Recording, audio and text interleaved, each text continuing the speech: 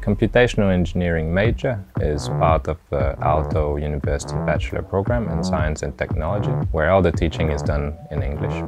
Uh, that means that you will benefit from the experience of all of our professors who have an international background and come from all over the world. And you also get to meet other students that come from different countries, uh, really preparing you for a global job market. Is This is one of the few places in the world where you can study computational engineering at the bachelor level. So your studies in computational engineering would be uh, based on three main pillars. So the first one, uh, you need to develop your skills in mathematics uh, because that's the main tool that we use to solve all engineering problem. That means learning about calculus, algebra, and uh, statistical analysis. Second, you'll learn, for example, how heat is transferred or dissipated in a building, our gases behave, our fluid flows around a car or an airplane, or uh, also our uh, materials and, and structure deform under certain loads.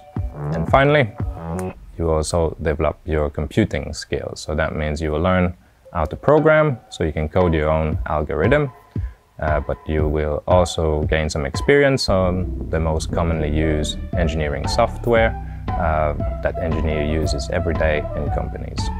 Then we'll bring everything together through project work, for example, uh, where you apply all those skills to solve real engineering problem.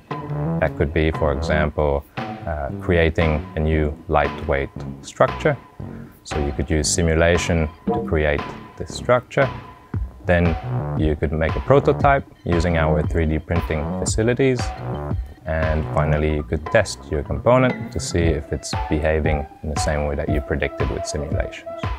So I think if you want to be part of developing lighter airplanes, uh, more efficient car, uh, maybe engines that emit less CO2 emissions, uh, more efficient wind turbines so we can produce more greener energy, uh, then all those fields, they require people with good computational skill, people able to use simulation to develop those new technology.